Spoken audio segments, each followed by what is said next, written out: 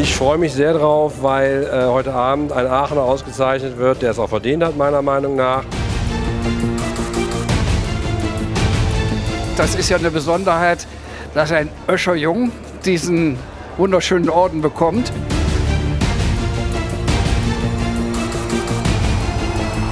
Der ist ein so humoriger Mensch und, und ernsthaft dabei. Und äh, also ich freue mich auf seine Rede. Ja. Finde die Auswahl gut, weil das Wichtigste ist, dass jemand Humor hat und nur das ist heute hier gefragt und den hat er zweifelsohne.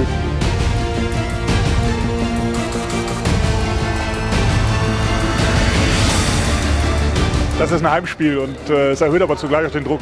Armin Laschet kennt alles, was hier passiert und deshalb ist die Erwartung natürlich sehr groß, dass er da noch was draus macht.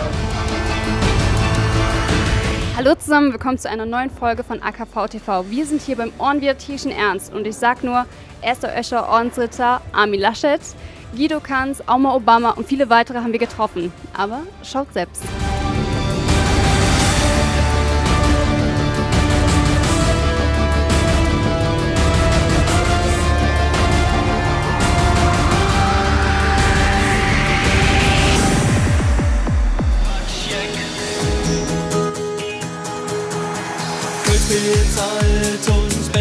Wie viel Vorbereitungszeit steckt eigentlich für solche Auftritte?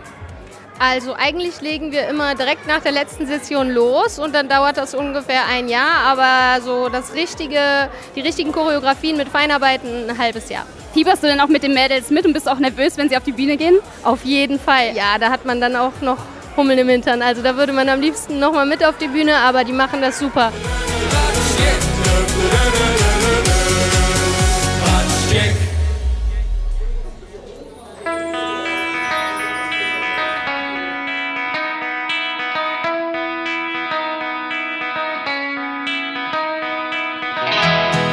Einmal gewagtes Outfit hier an den Tag gelegt. Nee, das ist, äh, je älter man wird, muss man natürlich äh, ein bisschen ablenken vom Rest. Deswegen äh, auffällige Schuhe und einen, einen roten Anzug. Äh, das hat jetzt nichts mit meiner politischen Gesinnung zu tun, aber damit die Leute wissen, ah, da ist der Kanzler und meistens hat er was Rotes an.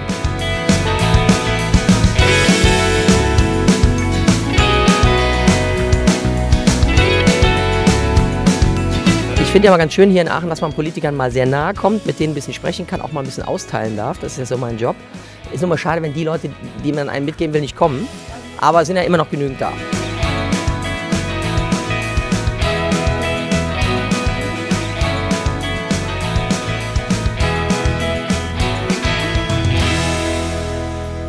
Für dich war es ja heute das erste Mal auch alleine auf der Bühne. Wie war's? Äh, ja, mega. Also, dass die Leute so mitgemacht haben, wenn man einen Anzug trägt und ein schönes Abendkleid, dann ist das nicht so einfach. Aber die waren von Sekunde 1 da und äh, das war sehr überraschend, aber geil. Ich hätte nie gedacht, dass das passiert, da das Bier genauso wie man geht, in Dinge Ohren. Da So zum sechsten Mal schon wieder dabei und immer noch nervös oder hat sich so langsam gelegt? Nee, ich bin immer noch aufgeregt, muss ich sagen. Es ist ja ein äh, sehr anspruchsvolles Publikum. Und äh, gerade wenn ich mit politischer Rede punkte, ja, dann äh, muss man aufpassen, was man sagt. Gerade im Moment. Und was sagen Sie zum Ordensritter? Ja, großartig. Endlich mal einer von hier, ne, obwohl er ja nicht direkt aus Aachen kommt, sondern nur aus Bochtscheid. Aber ich denke, da kann man drüber hinweg gucken jetzt mal. Ja,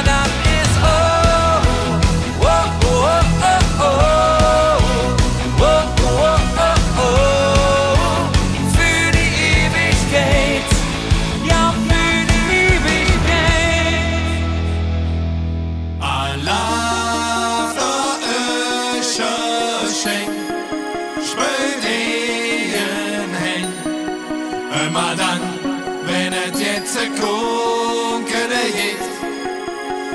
Wie kriegt es eigentlich immer hin, diese Stimmung im Saal zu erzeugen? Uh, das äh, wundert uns äh, immer noch und auch immer wieder aufs Neue. Das ist mittlerweile so, dass wir, glaube ich, in Aachen mit unserem Publikum so eins werden. Das ist so wie ja, ein kleines Familienfest, wo man dann äh, im Wohnzimmer plötzlich äh, einen Quetschbüll rausholt und singt mit der ganzen Familie. Ich glaube, damit hat es viel zu tun, weil die da vor der Bühne sitzen, sich freuen, wenn wir kommen und wir freuen uns auf die und dann wird es irgendwie so eins. Komm in meine Arme und reich mir den Abschiedskuss. Wie viel Aufwand ist es eigentlich, so eine Rede vorzubereiten, die vor allen Dingen auch so politisch ist? Also es waren einige Wochen. Ich habe mich natürlich länger darauf vorbereitet und das ist ja ein Spezialfall, weil die Kinder mit dabei sind, dass man dann erstmal das Konzept erstellen muss und überlegen muss, welchen Übergang bringt man. Es soll dann ein bisschen politisch sein, ein bisschen regional und ja auch noch lustig. Und wie hat es euch gefallen? Äh, auf jeden Fall gut. Ja, sehr toll.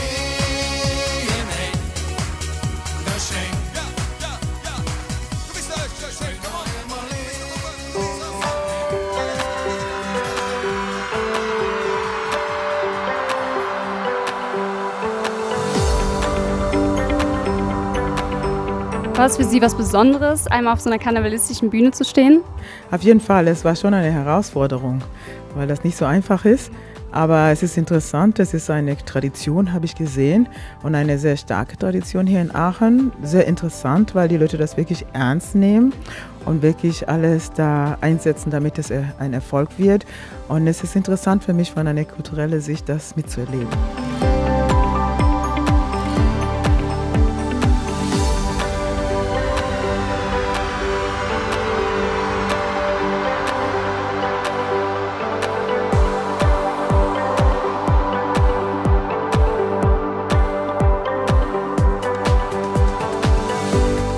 So für den ersten Öscherjungen? Ja, ist natürlich sehr aufregend. Man hat den Orden wieder den tierischen Ernst schon als kleines Kind verfolgt und dann bekommt man ihn selber.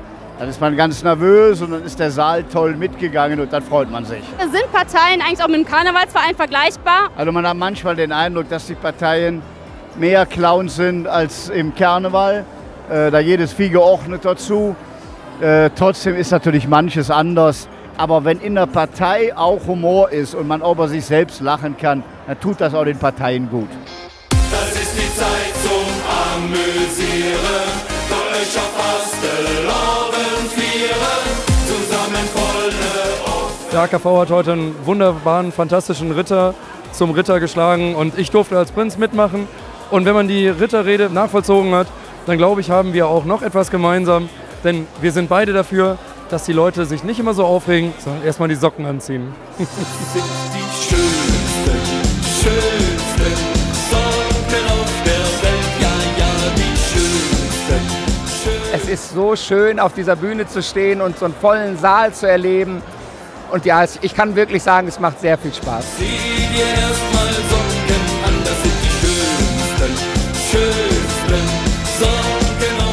Dr. Werner Pall, dieses Jahr hat es auch ein Öscherjung quasi als Ordensritter geschafft. Wieso wurde er ausgewählt?